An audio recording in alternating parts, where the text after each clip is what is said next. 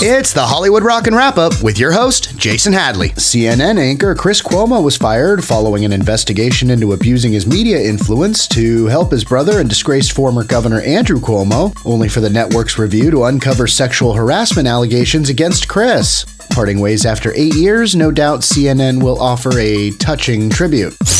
Justin Bieber recently performed in Saudi Arabia, clearly ignoring the backlash and protests from social media followers. The Saudi government is widely known for their human rights violations, which may explain the crying when they told Bieber he should be headed on stage.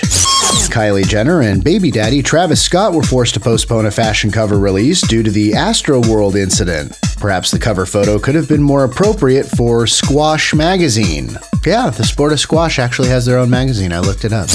And that's the Hollywood Rockin' Wrap Up. Follow us on Twitter at Rockin' Wrap Up.